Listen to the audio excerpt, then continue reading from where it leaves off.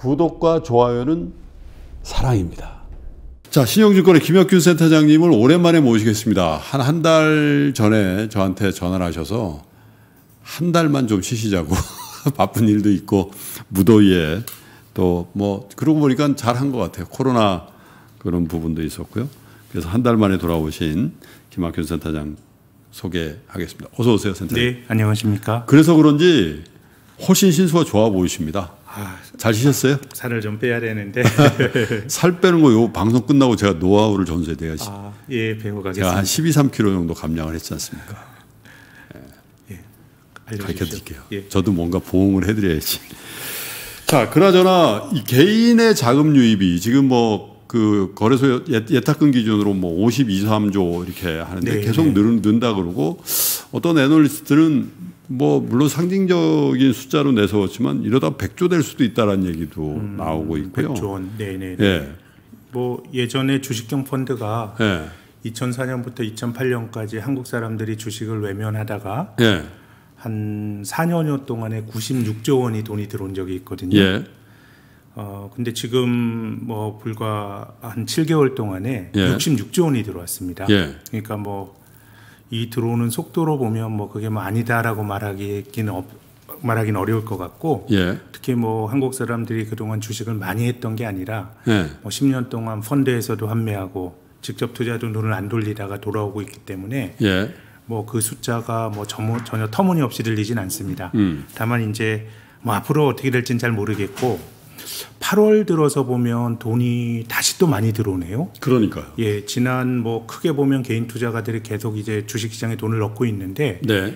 아, 지난 3월 달에 27조 원이라고 하는 정말 상상도 안 되는 돈이 들어오고 예. 4월부터는 뭐 3조 원에서 5조 원 정도 들어오다가요. 예. 8월 들어서는 11조 원이 들어왔습니다. 음. 그러니까 뭐 한국 사람들이 엄청나게 지금 다시 또 이제 주식에 탐닉을 하는 것 같고 예. 다만 이제 들어온 돈의 규모를 어 뭐 코로나 발병 이후에 66조 원이 들어왔는데요. 과거에 이제 한국 사람들이 주식을 할 때는 주가가 많이 오른 다음에 들어왔다가 음. 조금 이제 주식 투자를 하시면서 수익을 좀 보다가 결국 굉장히 이제 비싼 가격에 주식을 사면서 결국 네. 주가가 꺾이면서 이제 주식이라고 하는 투자에 대해서 집단적인 성공의 경험이 없었는데 예. 지금의 경우는 한 66조 원 중에서 한 30조 원 정도는 주가 지수가 뭐 1900 이하일 때 음. 어떻게 보면 야 주식 해도 돼 그러면 막 공포 공포에 사로잡혀 있을 때 네. 정말 용기 있게 공포를 매수한 적은 30조 원 정도가 되고 예. 나머지 한 36조 원 정도는 조금 이제 늦게 들어온 돈인데요. 음.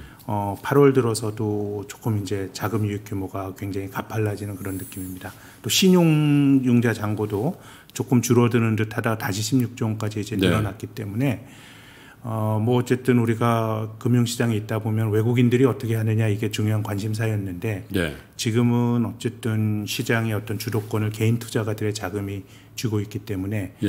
개인들의 자금 흐름은 좀 잘좀 관찰을 해야 되지 않을까 싶습니다. 그 오늘 뭐 규모 있게 외국인 매도가 나왔음에도 불구하고 사실은 이제 외국인이 에, 6월 이후에 6월 말 이후로만 놓고 보면 매수 매도가 거의 square 상태라고 봐야 되지 않습니까? 그렇죠. 네. 7, 8월 이렇게 퉁쳐 보면 네. 오히려 좀 순매수가 좀 있는 상황도 있고 그래서 그 상태에서 에, 사실은 기관의 매도라는 것도 물론 단기적 투- 프로그램 매도라든지 뭐 이런 쪽에 단기성 매도를 제외하면 사실 개인의 매도나 마찬가지잖아요. 개인의 환매. 네, 네. 근데 그거보다 몇 배나 되는 유동성이 들어와 버리니까 네, 네.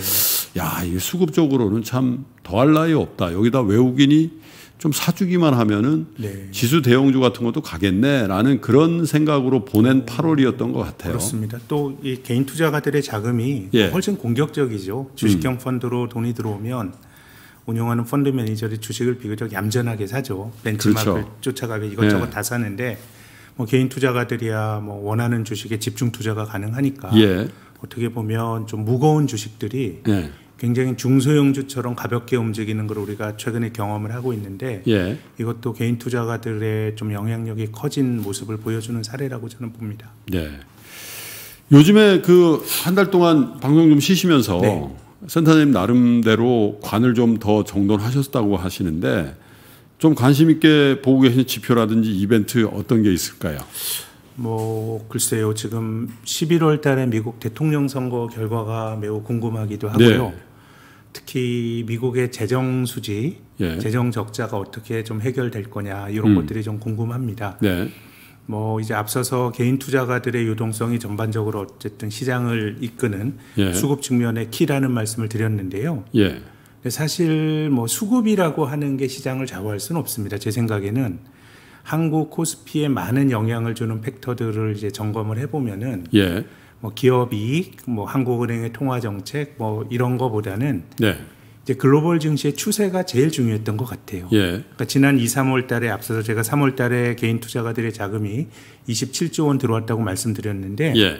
글로벌 증시가 무너지면은 그거는 뭐 한국도 도리가 없는 거거든요. 예. 그러니까 뭐 지금처럼 뭐 미국 시장이 기본적으로 위해서 잘 버텨주고 글로벌 증시가 크게 뭐 망가지는 모습이 아니라 그러면 예. 한국은 좀 내부적으로 좋은 수급을 가지고 시장님처럼 뭐더 올라갈 수 있는데 예. 뭐 한국처럼 개방화된 시장이 글로벌 증시가 무너지면 안 되는 건데요. 저는 지금 크게 보면은 글로벌 시장이 2009년 이후로 미국 증시가 주도하는 그런 흐름이라고 봅니다. 코로나 이후에도 예. 어, 미국이 주도했던 흐름이 다시 또 강화가 되는 거지 예. 전혀 새로운 흐름은 아닐 것 같은데요. 근데 과거에 이제 미국 시장이 장기 호황을 구가할 때 시장이 꺾일 때의 음. 모습을 보면 늘 미국의 재정 수지가 좀 나빠지는 모습들이 나타났거든요. 예. 그러니까 지금처럼 주가가 장기간 오르는 거는 미국 경제도 장기 호황을 누린 겁니다. 예. 근데 지난 2월 달에 미국 경제 장기 팽창이 이제 종결된 걸로 이제 미국에서 전미 경제 연구소라는 데서 이제 판정을 했지만 크게 보면은 2009년 이후 미국 경제가 10년 이상, 100개월 이상 팽창을 했거든요. 네. 100개월 이상. 근데 이, 어, 미국 경제가 만들어진 이후로 주식도 좋았고 경제도 장기 팽창을 했던 사례가 100개월 이상 팽창했던 게 세 번 있는데요. 음. 60년대 자본주의 황금기라고 불렸던 60년대에 미국 경제가 100개월 이상 팽창을 했고 미국 주식도 굉장히 좋았고요. 네. 또 90년대도 마찬가지죠. 100개월 이상 팽창을 주식도 가장 좋았습니다. 최근 10년 동안 미국 시장이 굉장히 짜릿한 강세를 구가하고 있지만 상승률로 따지면 미국 증시는 90년대가 지금보다 더 많이 올랐거든요. 음. 기록적인 강세장이 지금도 마찬가지인데요.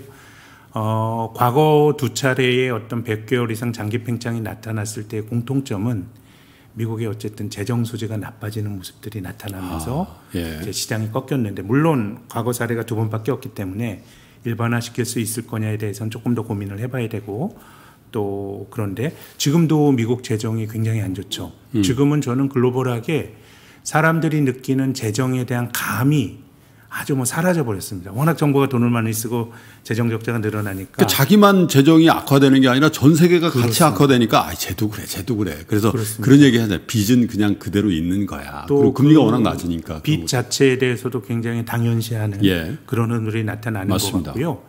근데 미국이 그 최근 12개월 동안의 그 재정 수지를 가지고 이제 어뭐 GDP 대비 재정 적자를 발표를 하는데 네. 지난 7월 말이 GDP 대비 재정 적자가 마이너스 15%입니다. 네. 과거에 전혀 못 봤던 숫자고요. 그러네요. 2008년 글로벌 금융위기 직후에 음. 오바마 정부 때 돈을 엄청 부었을 때가 GDP 대비 재정 적자가 마이너스 10%였는데 음. 지금 마이너스 15%까지 정말 못 봤던 숫자가 나오고 있습니다. 네. 그래서 어, 미국 대선 이후에 재정 수지가 어떻게 될 거냐가 이제 관심사인데 예. 왜 재정 수지가 주식시장에도 중요한 뒤에서 말씀을 드리고요. 제 생각에는 뭐 민주당의 트럼프나 아 민주당의 오- 그 바이든이나 공화당의 트럼프 누가 당선이 되더라도 재정 수지가 개선되긴 힘들 것 같습니다. 그렇겠죠. 왜냐하면은 트럼프 대통령은 지금 더 세금을 깎아주자는 거거든요. 음. 그래서 뭐 그 트럼프 대통령과 같은 공화당, 민주당의 아, 미국의 이제 공화당과 같은 그 보수주의자들은 기본적으로 이제 정부가 시장에 개입하고 이런 것들을 굉장히 싫어합니다. 음. 그래서 세금 깎아주고 감세 이런 것들이 기본적인 정책이고 크게 보면 트럼프도 이제 그런 그 입장인 건데요. 감세를 해주는 대신 정부가 관여를 덜 한다. 덜하죠. 예. 그럼으로써 이제 민간이 자발적으로 그 경제 활동을 더 열심히 하게 되면 네. 성장이 높아져서 정부가 세금을 더 걷고 예. 그럼 장기적으로 재정이 이제 건전화될 거다라는 주장을 하죠. 예. 80년에 레이건이 당선됐을 때 어, 아서 래퍼라고 하는 음. 래퍼 교수라고 하는 미국의 어떻게 보면 아카데믹한 학계에서는 인정받지 못하는 별로 유명한 사람은 아니었는데 네. 레퍼 곡선이라는 들고 곡선이라는 걸 만들었죠. 예. 득세를 했죠. 네. 뭐 공급주의 경제학 그러면서 세금을 깎아주면 성장률이 높아지고 그럼으로써 세금 더 걷어서 재정이 건전화될 거야 그랬는데요. 저는 어느 나라를 보더라도 재정이 나빠졌을 때 증세를 안 하고 재정 건전화가 됐던 사례를 찾아보지 못했습니다. 아, 그래서 아서 레퍼 교수의 주장도 미국에서는 뭐 부두 경제학 이렇게 좀 폄하가 됐었죠. 그래서 미국이 재정이 좀 건전화됐던 거는 예. 어, 80년대 내내 레이건이 재선을 하면서 재정 예. 소지가 나빠지다가 90년대 초에 예. 어, 이제 동서 냉전이 이제 소비에트의 해체로 그 끝나면서 네. 국방비 지출이 준 것도 있었지만 예. 같은 공화당 레이건의 뒤를 이었던 부시 대통령의 아버지 부시죠. 예. 증세를 했습니다. 음. 증세를 해야 이게 개선이 되는 거거든요. 네.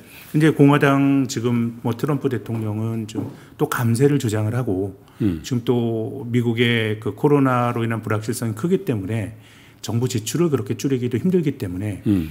제 생각에는 트럼프가 당선이 되면 재정 적자가 더 늘어날 거다라고 하는 우려를 시장이 가질 가능성이 매우 높고요. 바이든이 돼도 그럴 거 아니에요. 바이든은 많이 쓰겠다는 거 아니에요. 많이 쓰겠다는데 바이든은 증세를 주장합니다. 예. 예, 민주당은 전통적으로 정보가 많은 걸 해야 된다는 입장인데 정보가 하려면 이제 세금을 더 걸어야 되니까 그렇겠죠. 증세에 대해서는 공화당보다 훨씬 더 그렇게 뭐 전향적인 태도를 가질 수 있고 예. 지금은 법인세라든가 소득세도 부자 증세 하겠다라고 지금 주장을 하고 있습니다. 예. 근데 말씀하신 것처럼 이게 증세를 해서 재정 건전성을 높이는 데 쓴다라기보다는 지금 미국도 그린 뉴딜이나 돈 쓸 게 굉장히 돈 쓰고 싶은 게 많거든요. 네. 그래서 저는 바이든이 되더라도 설사 증세를 하더라도 돈을 써야 될 부분들이 굉장히 많기 때문에 예. 바이든이 되더라도 재정 수지가 개선이 되기 좀 힘들 것 같고 음. 그래서 뭐 부- 말씀하신 것처럼 뭐 금리 안 올라가고 정부 부채가 뭐 계속 늘어나도 되는 거 아니야 금리가 낮으면 이런 생각할 수가 있는데 네.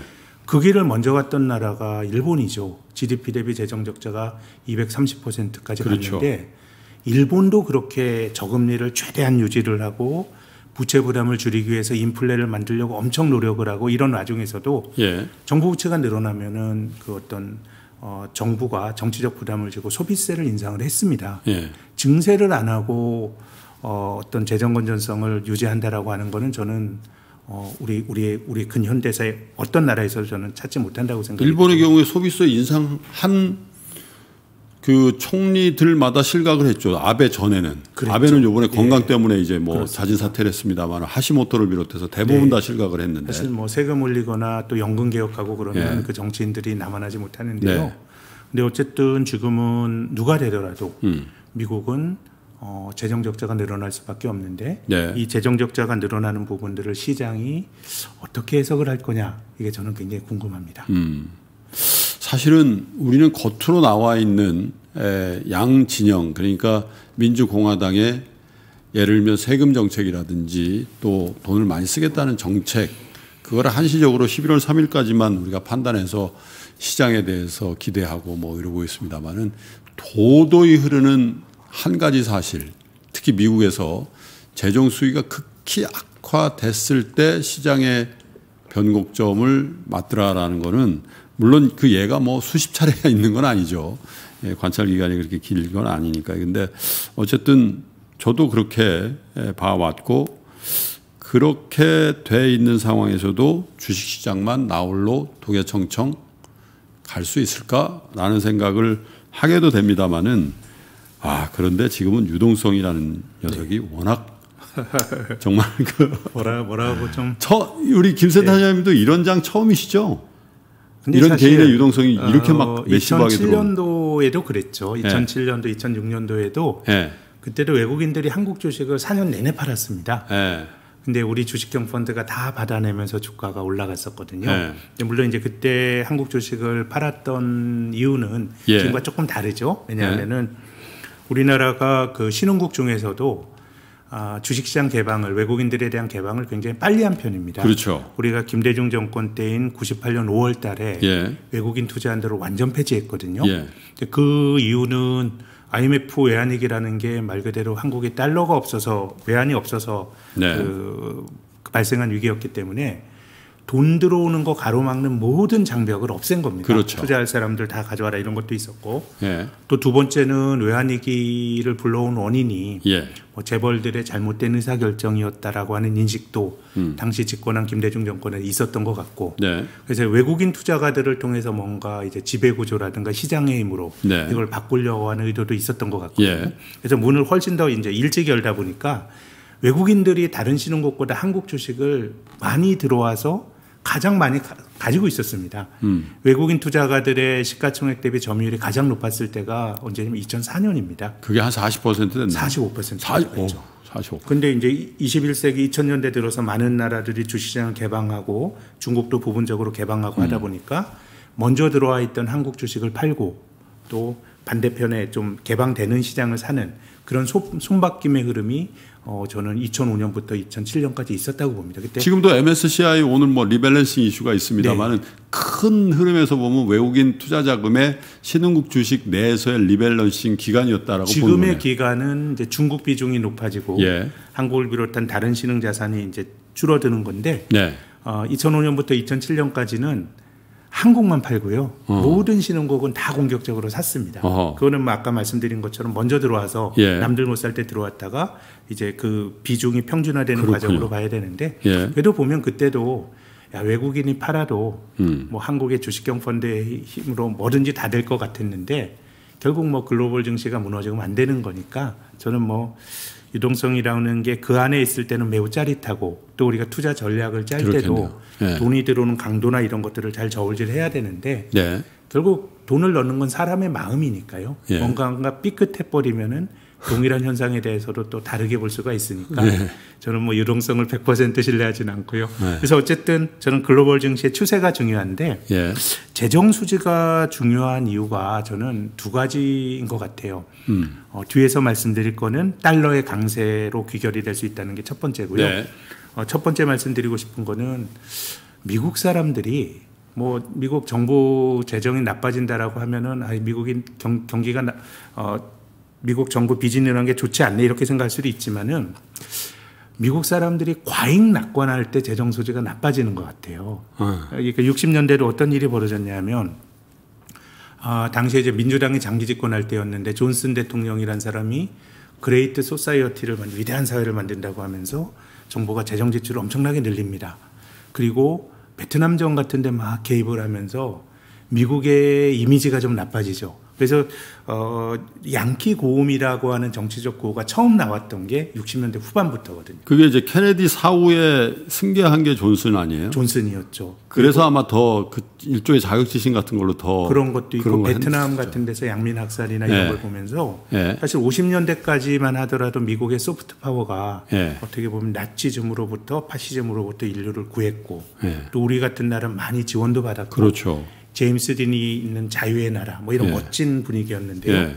60년대 후반부터 소위 뭐 양키 고음이라고 하는 뭐 음. 이런 얘기가 나올 정도로 조금 어떤 타자에 대해서 배타적인 예. 이런 어떤 그 정책들이 나오고 내부적으로는 재정을 좀 많이 쓰면서 예. 이 밸런스가 이제 그 무너진 어떻게 보면 이제 미국인들 스스로가 조금 과잉 낙관이 60년대 있었던 것 같아요. 네. 60년대 후반으로 가면서 뭔가 이제 그게 좀 희미해졌는데요. 예.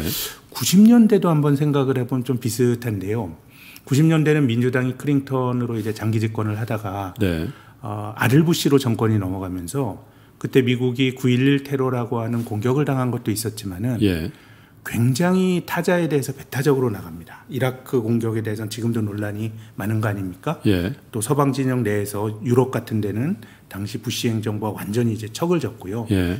굉장히 어떻게 보면은 조금 타자에 대해서 배타적으로 나가는 예. 정책을 썼고 예. 60년대는 정부가 재정 지출을 늘렸다 그러면 예. 2000년대 초에는 감세를 했습니다. 음. 역시 공화당 그 부시가 집권을 하면서요.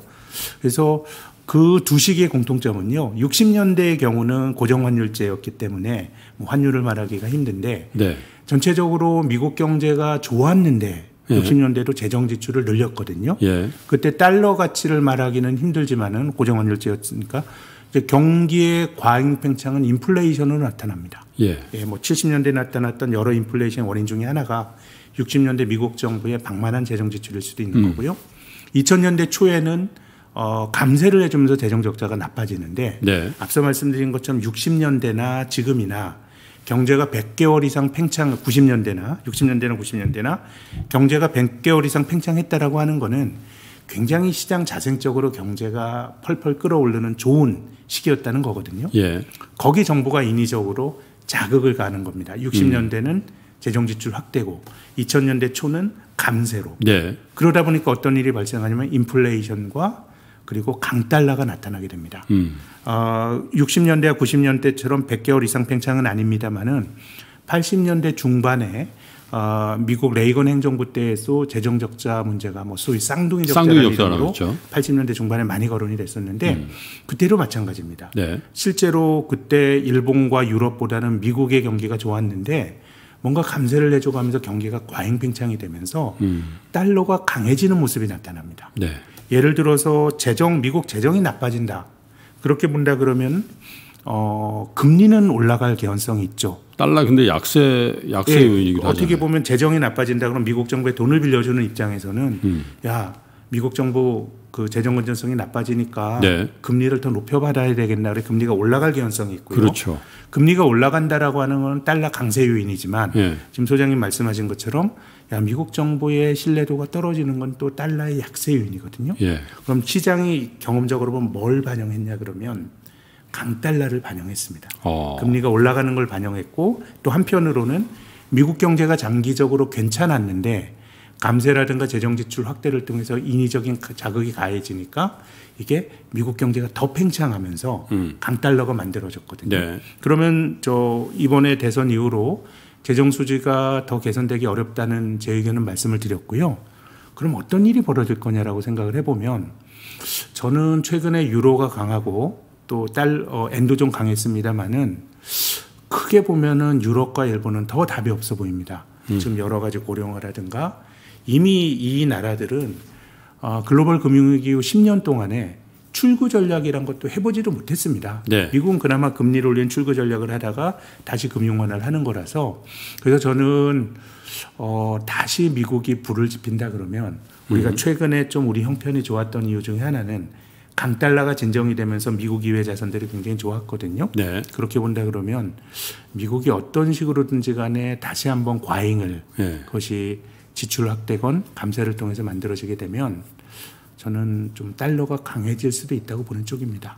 예. 미국 미국이 다른 나라들보다 유럽과 일본보다 상대적으로 나으니까요. 재정의 악화가 달러의 강세라는 이상한 이상한 결과물을 도출하고 그 상황에서 주식시장이 고공행진을 해온 상황이라면 뭔가 주식시장도 일종의 변주곡을 울릴 수밖에 없는 그런 상황으로 갈수 그렇죠. 있다. 미국 이외 자산, 그것은 뭐 이제 미국 경기의 예. 음. 과열로 갈 수도 있는 것이고, 뭐 사실 지금 상황에서는 뭐 코로나로 인해서 경기가 내려앉았기 때문에 뭐 과열을 말할 상황은 아닌 것 같은데, 음. 네. 다만 상대적으로 다른 경제 권역에 대해서 예.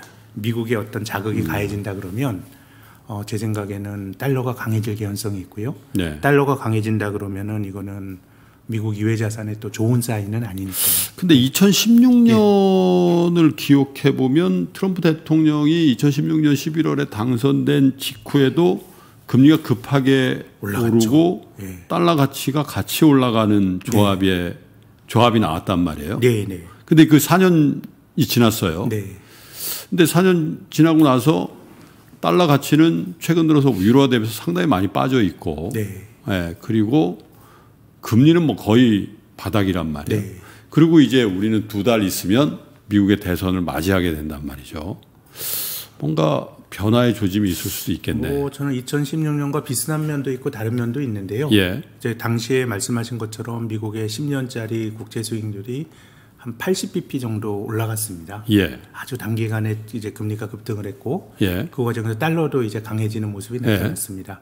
이제 그런 흐름이 나타나게 된 거는 거의 전적으로 예. 트럼프의 감세 공약이 예.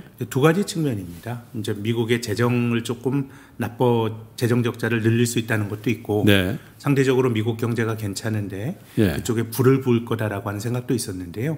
실제로 그 전망이 맞았죠. 음. 트럼프가 감세를 해주고 나서 미국 경제가 또 혼자 좋았거든요. 네. 그래서 괜찮은 경제에 과열을 만든다는 측면도 분명히 있었는데 당시와 지금이 조금 다르게 해석될 수 있는 거는 연방준비제도의 통화 정책의 스탠스는 조금 다릅니다. 음. 왜냐하면은 그 당시에는 미국이 긴축을 하고 있었거든요. 예. 근데 2015년 말에 금리를 한번 올리고 나서 음. 2016년까지 중국이 나빠지고 그러니까 저는 뭐 미국과 중국이 공조를 했다고 보는 쪽인데요. 네. 그 당시에 이제 미국이 금 통화 정책을 계속 어 2015년, 2016년 내내 동결로 가다가 예. 대선 직후인 2016년 12월에 한번 그 기준금리를 올렸거든요. 네. 근데 지금은 연준의 통화 정책은 뭐 금리를 올릴 수 있는 형편은 아니고 또 지난주에도 여러 가지 굉장히 후행적으로 네. 상당히 좋아지는 걸 보고 움직이겠다고 했기 때문에 중앙은행의 통화 정책은 조금 뭐 그때와 다른 것 같고 예. 다만 어쨌든 지금은 정부가 모든 걸 다 할 수 있다라고 생각을 하는 세상인데요. 음. 근데 부채라고 하는 게 한없이 늘어날 수는 없기 때문에 요즘 뭐 현대 통화 이론 이런 것들 나오는 것 자체가 제 생각엔 지금 벌어지는 일들에 대해서 너무 무난하게 가는 그런 이제 논리들인 것 같아요. 뭐 그렇게 될 수도 있고 네. 다만 어 인류가 한 번도 걸어가지 않은 길을 우리가 가는 거거든요. 그래서 이건 뭐 하나의 가능성으로 우리가 논의를 해야지 이게 확정적인 진리인 것처럼 말하면 안 되는 것 같고요. 다만 저의 말씀도 역시 마찬가지입니다. 뭐 금리가 올라가고 달러가 강해지고 하는 그런 부분들에 네. 대해서도 우리가 지금 뭐 아무런 걱정이 없어 보이는 그런 상황인데 음. 조금 하나의 가능성으로 제 생각에는 좀 관심 있게 봐야 될 이슈로서 그래요. 말씀을 드리는 거니까요. 뭐 미래라는 건 뭐 아무도 알기 힘든 거고 예. 다만 생각을 많이 해놓게 되면 음. 그런 비슷한 일이 벌어졌을 때 조금 행동이 수월하기 때문에 음. 뭐 그런 점에서 좀 말씀을 어, 드리고 싶은 겁니다. 음. 뭐 최근 들어서 우리 삼프로 TV가 비교적 강세 시황관을 가진 출연자 여러분들을 에, 많이 그 캐스팅을 하긴 했습니다. 사실 뭐 에, 계획 의도가 100% 그런 건 아니지만 사실 에, 비교적 찬찬하게 시장을 좀 봐야 된다라고 하는 그 입장도 여전히 에, 여러분들한테 그 직설 앞에 원래 강세 시장 그러잖아요. 지금이라도 사시라고 그러고 조금 보수적인 분들은 잘 생각해 보시라고 이렇게 표현하는 거거든요. 그래서 이게 여러분들의 이 뭐라고 할까요? 잔상에 많이 남는 거는 더 강한 어법을 쓰는 분들이 대부분 나, 나, 남아 있습니다. 그리고 사실 빠지는 장에서는 약세 시황관이 더 귓전에 매물, 매, 맴돌고 상승장에서는 강세 시황관이 훨씬 더 각인 효과가 있는 거 아니겠습니까? 제가 이 김학균 센터장님과의 대화로 이렇게 준비된 것들은 대부분 했는데요. 에, 김 센터장님이 여기 여기다 한, 한 줄을 첨언을 했어요. 기타 궁금하신 점들을 얘기할 수 있습니다. 이렇게 됐는데 저는 뭐 우리 김 센터장님을 수시로 전화도 드려서 통화도 할 수 있고 또 에, 방송 전후로도 의견 교환을 할 수 있으니까 기타 궁금하신 점들에 대한 기회는 여러분께 드리도록 하겠습니다. 물경 지금 조금 한 2, 300명 빠져 있는데 2만 명 이상이 지금 동시 접속하고 계시거든요, 여러분. 어떤 분이 그렇게 써 놓으셨네요. 2만 분 이상 그렇게 들어와 계신데 오랜만에 나오시니까 확실히 반가워서 그러신 것 같습니다. 잠시 전화 말씀 드리시고요. 김학균 센터장님께 여러분들이 궁금한 거 제가 시간이 허락하는 한 전달해서 더 재밌는 토론이 되도록 한번 이끌어 보겠습니다. 잠시 후에 여러분 다시 오겠습니다. 실외보다 다섯 배더 오염된 실내 공기. 그대로 숨 쉴 건가요? 식물 4,000개를 한 대에 담아 핀란드 숲속 공기를 선물하는 나아바를 경험하세요. 일반 식물 대비 최대 190배의 효율로 화학 물질을 분해합니다. 식물 관리가 어려워 망설여 주신다고요? 나아바는 걱정할 필요가 없습니다. 인공지능 원격 관리와 전문가의 방문 관리를 통해 알아서 관리해 드리니까요. 이제 아무 공기나 숨 쉬지 마세요. 나아바로 호흡하세요. 나아바 로고가 없다면 나아바가 아닙니다. 나아바.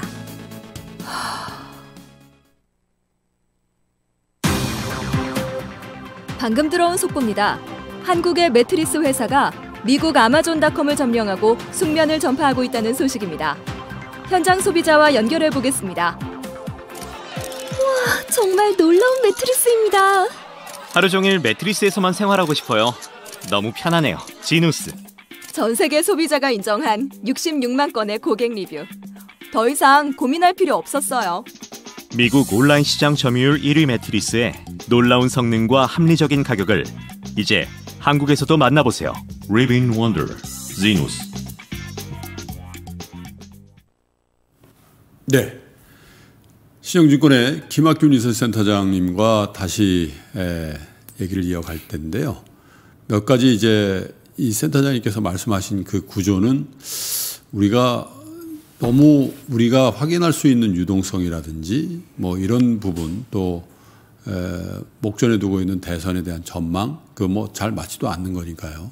그런 것보다는 더 근저에 그 기저에 흐르는 미국의 재정 그리고 에, 대체로 미국 그 민주당 공화당 간의 어떤 정책의 변화 가능성 이런 것들에 대해서 더 생각을 하셔야 될 거 아닌가 이제 그런 말씀이고 그래서 사실은 에, 지금 뭐 다우지수 S&P 할거 없이 계속 사상 최고치를 경신하고 있고 우리 주식도 조금 뭐 조정을 받고는 있습니다만 어쨌든 굉장히 강한 상승세를 보이고 있지 않습니까? 그래서 그런 부분에 대한 에, 에, 사실 조용하지만 경고 뭐. 음, 뭐 그냥 저희가 네. 사실 뭐 강세장에 있다 보면 뭐 다 좋아 보이고 네. 약세장에 있으면 비관론에 사로잡히기가 쉬운데 네.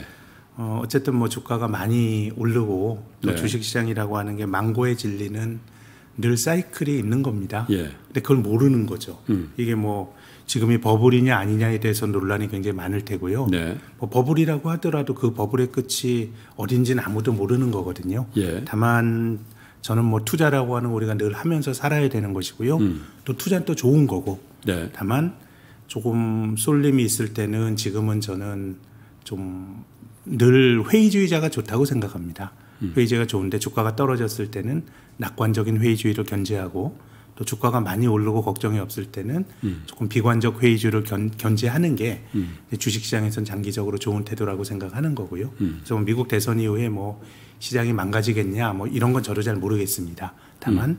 뭐 하나의 생각할 수 있는 거리를 던지고 네. 같이 한번 고민해 보고 싶은 생각은 드는 거죠. 그래요. 몇 가지의 우리 시청자 여러분들의 질문을 제가 좀 전달해 네. 볼게요. 달림 왕자님이 이렇게 질문하셨네요. 센터장님 미국장에서 3분기 실적 발표를 기점으로 에, 컨택트주에도 기회가 오지 않을까요? 언택주의 독주는 언제까지 계속될까요? 이런. 음, 아, 글쎄요. contact가 되려면은 코로나가 좀 진정이 돼야 되지 않을까요? 그런 예. 생각이 드는데 지금 글로벌하게 이게 좀 잘 진정이 안 되는 그런 양상인 것 같고요. 예.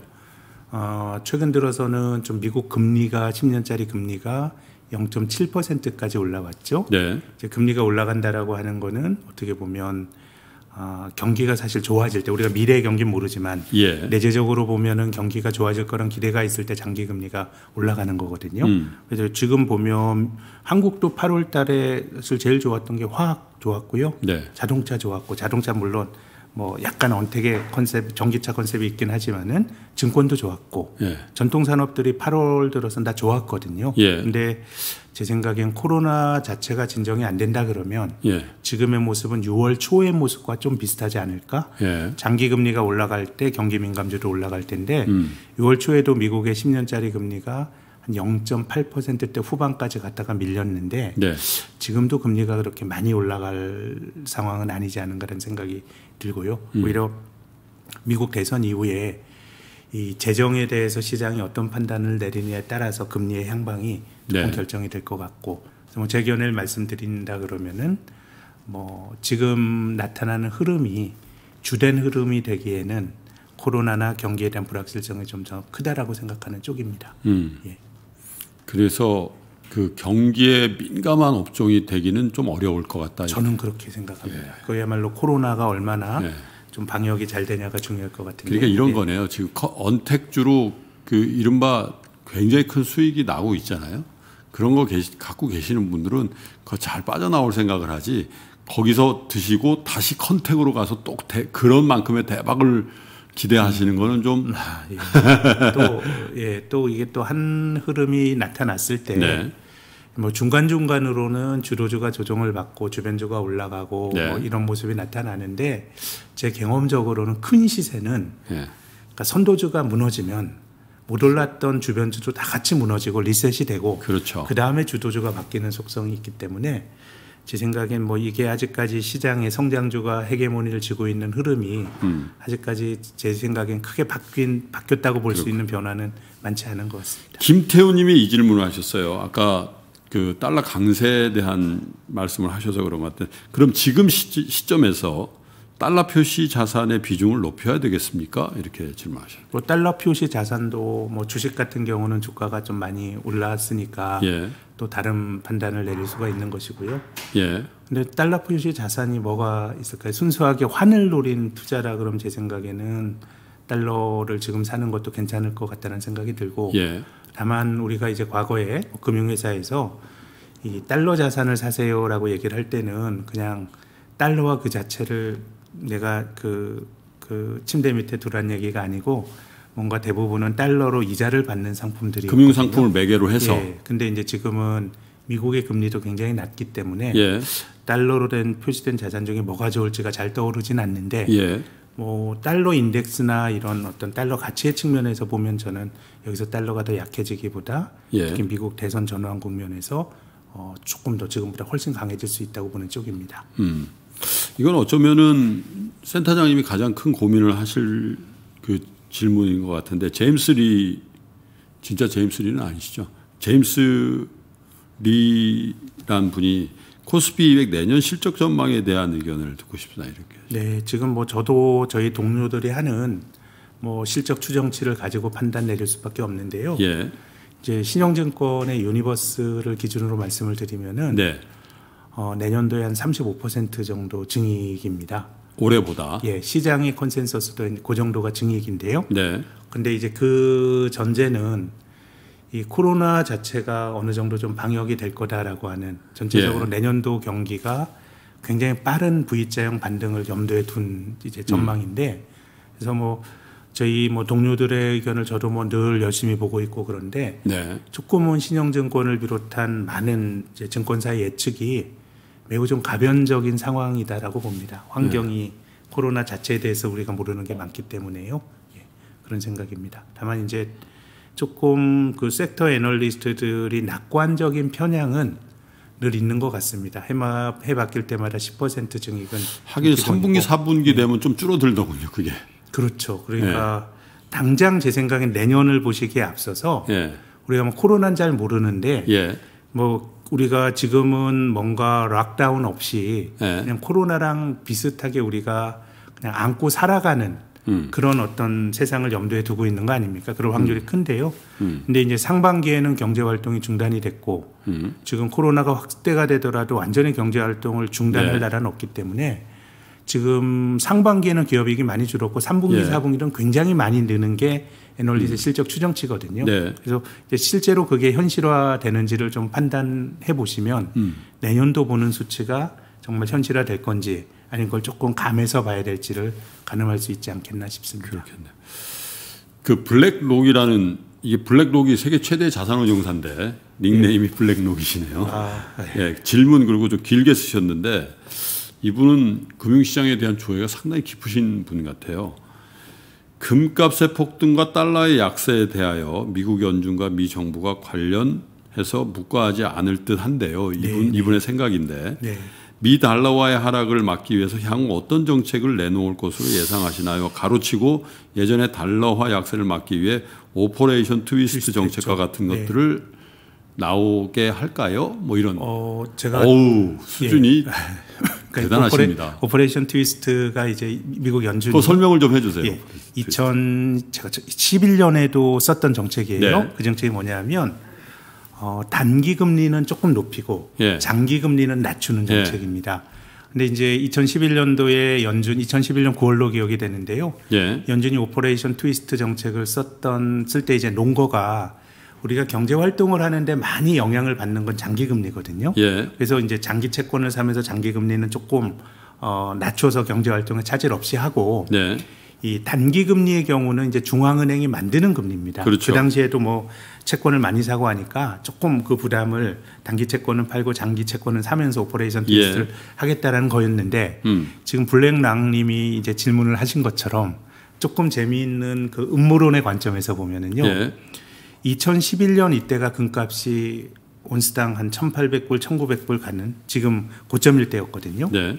근데 우리가 그 달러화의 가치를 결정하는 거는 네. 사실 장기 금리라고 하는 거는요. 예. 그건 누구도 정해 줄 수가 없어요. 중앙은행도 못 정합니다. 10년짜리 금리는 경제 펀더멘탈을 반영하는 거고요. 시장에서 결정하는 거죠. 그렇죠. 은행에 예금을 하고 이런 것들은 사실 단기 금리가 중요하거든요. 예. 그래서 금 가격과 기축 통화인 달러를 지키기 위한 어떤 음모론의 관점에서 보면 예. Operation Twist라고 하는 거는 이제 금 가격이 급등하고 기축 통화인 달러의 그 가치가 떨어질 때 예. 중앙은행이 쓸 수 있는 첫 번째 카드입니다. 음. 단기 금리를 올리면서 달러 가치를 지탱하는 네. 건데요. 근데 이제 매우 재미있는 거는 2011년에 연준이 Operation Twist를 했는데 예. 1960년대 금본위제 시절에도 연준이 Operation Twist를 했던 기록이 있습니다. 예. 그 당시에는 2011년에 할 때처럼 그런 복잡한 얘기 아니고요. 음. 실제로 달러 가치를 지키기 위해서 Operation Twist를 했던 겁니다. 네. 그 당시에 이제 금본위제였는데 어, 어, 미국 밖에 있는 사람들이 달러를 가지고 와서 미국 연방준비제도에 이거 금으로 바꿔줘 그럼 돌려줘야 되거든요. 예.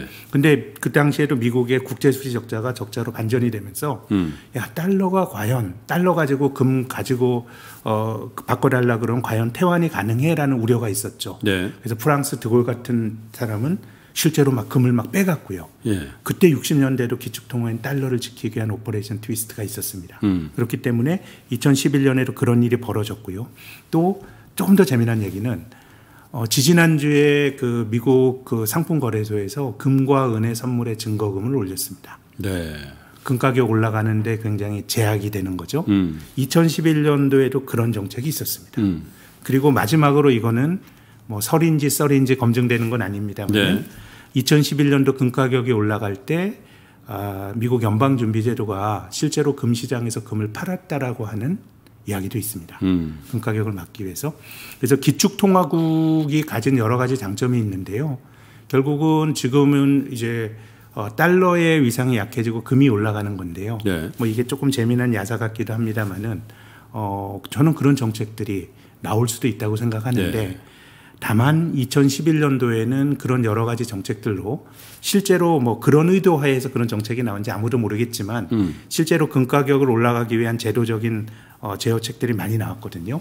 근데 저는 이번에는 그런 정책을 써도 안 먹힐 거다라고 네. 생각합니다. 예. 너무 돈이 많이 풀렸고, 네. 예, 그래서 그래서 저는 금 가격 같은 경우는 장기적으로 여기서 조금 주춤거립니다만은 더 갈 수 있다. 조금 더 갈 수 있다라고 생각하는 쪽입니다. 음, Operation Twist가 나올 나오기도 그렇지만 나와도 잘 작동하기 힘들 거다. 네, 근데 충분히 그런 정책들은 지금 뭐 어차피 뭐 미국이 금리 안 올리겠다고 얘기를 했지. 음. 뭐 장기 채권 사고 단기 채권 사고 하는 것들은 얼- 얼마든지 조율이. 가능하거든요. 그렇죠. 래서 뭐 60년대에도 그런 사례가 있었단 말씀을 꼭 드리고 싶습니다. 야, 근데 우리 시청자 여러분들이 참 대단한 분들이 많이 들어와 계신 건지 아니면 저희도 한 3년 가까이 돼 가잖아요. 신과 함께 기준으로 보면 저희가 2018년 1월부터 했으니까 그래서 질문의 이 수준이 이렇게 좋아지신 건지 참 모르겠는데 제가 평가를 할 입장은 아니지만 예. 제 주변의 사람들을 보면 이 좋은 컨텐츠 때문에 음. 투자자들이 공부를 통해서 똑똑해진 측면도 있는 것 같고 네. 또 컨텐츠가 괜찮다 보니까 네. 좀제 주변에 좀 많이 아시는 분들도 들어와 예, 계시고 들어오시는 두 가지가 같이 나타나는 거 아닌가 아, 제 평가 글쎄. 두 가지 다 저로서는 참 고무적이네요. 예, 특히 전자의 경우에 해당되는 분들이 많아지는 게 뭐 저의 보람이기도 하니까요. 그래서 이 질문을 마지막으로 에, 하나 좀 드리고 에, 센터님 또 다다음 주에 또 나오시니까요.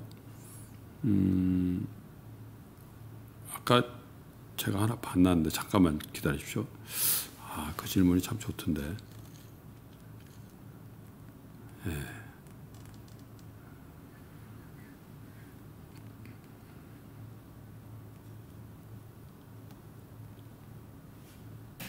아, 이, 이, 이거 제가 여담으로 김프로님 주식 처분하셨네. 시장을 보는 시각이 많이 바뀌셨네. 저, 저는 그런 거 아니고요. 이 게스트에 따라서 제가 적절한 질문을 드리려고 노력을 하는 거지 제 시간관을 이렇게 여러분 그렇게 생각하나 봐요. 제가 이렇게 제 시간관을 이렇게 사실 감추려고 노력을 하는데 여러분들은 그렇게 생각 안 하시는 모양이시죠? 잠깐만 기다려 보십시오. 제가 꼭 질문 좀 드리고 싶은데 찾아놨는데 이게 쭉 올라가 버려 가지고 네, 죄송합니다. 음. 확실히 민감하시네요. 김 센터장님 모셨더니 아 3%가 뭔가 방향을 바꿨나 이런 아유. 질문을 많이 네? 아유 뭐 방향을 바꾸는 것도 네. 뭐, 뭐 여러 가지 의견이 있을 따름이죠 뭐. 네. 네. 아 진짜 실제로 네. 방향을 바꾸고 그런 게 없습니다. 그러니까요. 네.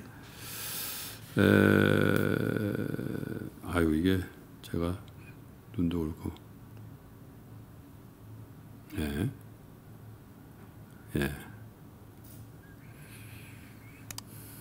아, 못 찾겠네요. 제가 눈도 좀 어둡고 그래서 그런지 새로 하신 분들이 있으면 뭐가 좋은 게 있나요? 예. 예, 이 정도만 해야 될 것 같습니다. 제가 좋은 질문 하나 꼽아놨었는데 이게 올라가가지고 제가 진행하면서 이렇게 당황스럽기도 처음인 것 같은데 예, 잘 못 찾겠습니다. 예, 예, 예, 요 정도 하시 하시겠습니다. 제 질문을 마지막으로 할게요. 네. 예. 센터장님 그 우리 증시에 여러 가지 이제 그 디스카운트 요인에 대해서 에, 센터장님도 그런 말씀을 저희 프로에서 몇 번 하셨어요. 네, 네. 우리 기업들의 가버넌스라든지 우리 기업들의 소유 구조 문제 이런 것들이 좀 획기적으로 개선이 되면 그걸로도 네. 디스카운트 요인을 상당히 상쇄 하고 네. 어, 제대로 된 평가를 받을 거다. 네. 그래서 지난 그 주말에도 그 더불어민주당의 박용진 의원이 이제 그런 맥락에서 얘기를 해서 참 댓글 중에도 뭐 많이 이제 에, 다른 의견도 내시고 에, 그랬는데 그냥 그 센터장님은 그냥 연구를 하시는 분이니까 리서치를 하시는 네, 분이니까 네, 네. 그게 그렇게 큽니까? 그럼요. 네? 주주들의 이해관계에 맞게 한번 운영해 네. 보는 게요. 네. 지금 우리나라 최근에 여러 재벌들 망한 재벌들 어려워진 재벌들 예. 많지 않습니까? 예. M&A 같은 거 하고 그럴 때 예. 거기에 대해서 뭐 감사라든가 이사회 소수 의견 같은 거 안 나왔거든요. 예.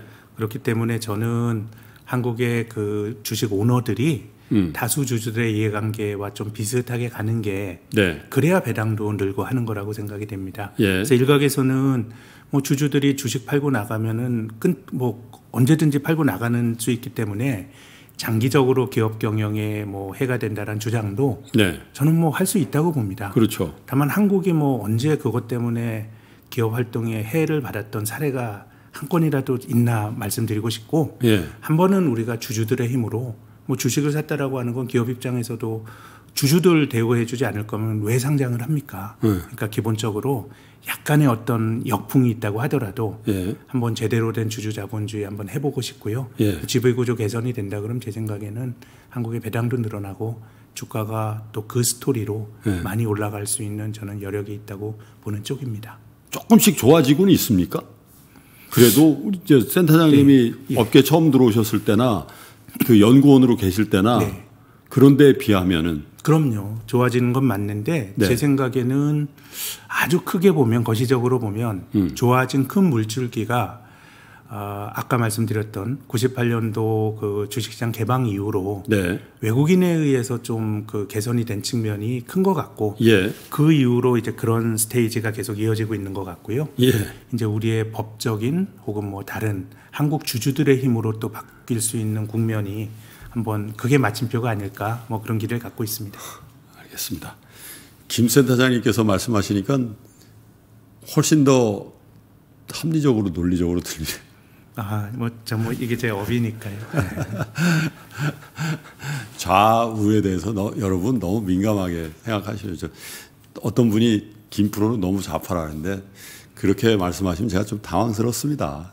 아, 시장에 주식 투자를. 업으로 하는 제가 늘 실용주의자가 돼야죠. 예, 그럼요. 실용주의자가 예. 돼야죠. 그렇죠. 알겠습니다. 오늘은 여기까지만 할게요. 예, 더 많은 좋은 질문들을 여러분들 대신해서 전달해 드렸으면 좋겠는데 아유 채팅창에 워낙 많이 들어와 계시니까요. 이게 쭉쭉 올라가니까 제가 그걸 다 미처 팔로우를 못 해드렸습니다. 근데 어쨌든 한 달 동안 그 휴가를 갔다 오셔서 이제 다시 루틴으로 돌아오셔서 2주에 한 번씩 나와 주시기로 했으니까요. 또 그때그때 여러분들의 궁금증 풀어보도록 할게요. 자, 김 사장님 고맙습니다. 예, 감사합니다. 네.